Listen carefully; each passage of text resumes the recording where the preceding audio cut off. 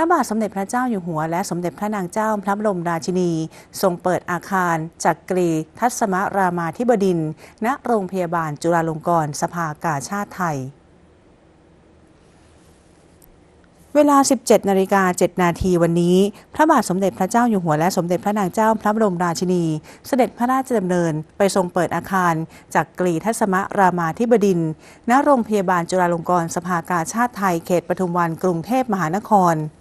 โอกาสนี้สมเด็จพระนิธิฐาธิราชเจ้ากรมสมเด็จพระเทพรัตนราชสุดาสยามบรมราชกุมารี อุปนายิกาผู้อำนวยการสภากาชาติไทย เฝ้าทูลละอองธุลีพระบาทรับเสด็จอาคารจักรีทัศมรามาธิบดินก่อสร้างขึ้น เพื่อเพิ่มพื้นที่และขยายการให้บริการผู้ป่วยนอก ให้ผู้ป่วยมีโอกาสเข้าถึงบริการทางการแพทย์ได้มากขึ้น มุ่งให้บริการที่มีประสิทธิภาพ รวดเร็วและครบวงจร โดยตั้งอยู่ระหว่างอาคารพปร และอาคารสกโดยเป็นอาคารสูง 15 ชั้น และชั้นใต้ดิน 4 ชั้น มีพื้นที่ใช้สอยรวมประมาณ 50,000 ตารางเมตร มีการนำเทคโนโลยีที่ทันสมัยมาใช้ในการบริการผู้ป่วยกำหนดพื้นที่ในการคัดกรองโรคติดต่ออย่างเป็นระบบ มีพื้นที่รอคอยที่สวยงาม สะดวกสบาย เป็นต้นแบบการบริบาลผู้ป่วยนอกของประเทศ และยกระดับการบริการทางการแพทย์และสาธารณสุขสู่สากล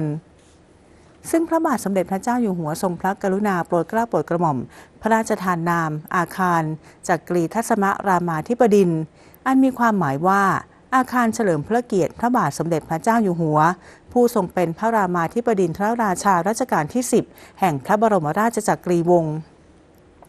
พร้อมทั้งพระราชทานพระบรมราชานุญาต ให้เชิญอักษรพระปรมาพิไทยวปรประดิษฐานที่อาคาร โดยก่อสร้างแล้วเสร็จเมื่อเดือนตุลาคม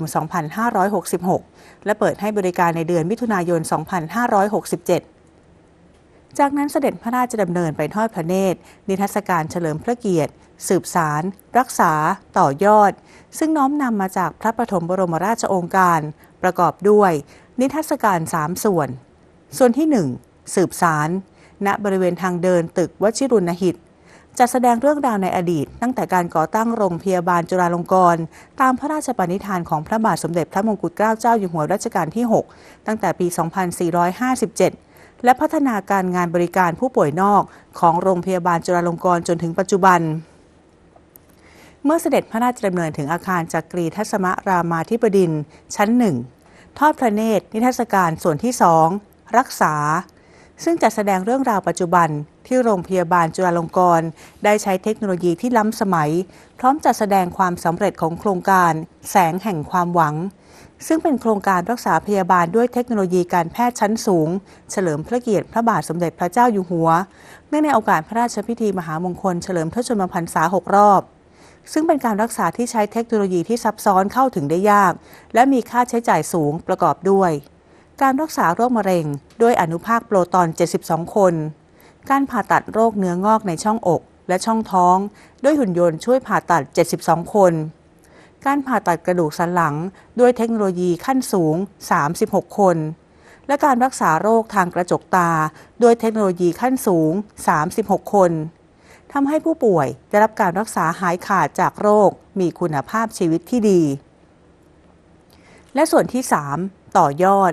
ณอาคารจักรีทัศมรามาธิบดิน ส่วนชั้นที่2จะแสดงการก้าวไปสู่อนาคต ที่นำเทคโนโลยีมาใช้ เพื่อเพิ่มประสิทธิภาพและความรวดเร็ว ในการบริการผู้ป่วยประกอบด้วย หุ่นยนต์จ่ายยา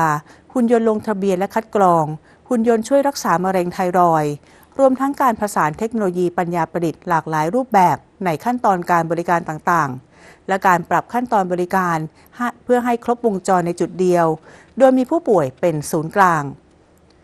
ทั้งนี้อาคารจักรีทัศมรามาธิบดิน เป็นสัญลักษณ์ในการสืบสารพระราชปณิธาน ของสมเด็จพระมหากษัตริยาธิราชเจ้า แห่งพระบรมราชจักรีวงศ์ในการบำบัดโรคภัย ให้การรักษาพยาบาลแก่ประชาชนทั่วหน้าเสมอกัน ตลอดจนเชิดชูเกียรติแห่งกรุงสยาม ให้ทัดเทียมนานาอารยะประเทศ และสอดคล้องกับหลักการดำเนินการของสภากาชาติไทย ที่ให้บริการแก่ประชาชนทุกระดับด้วยความเสมอภาค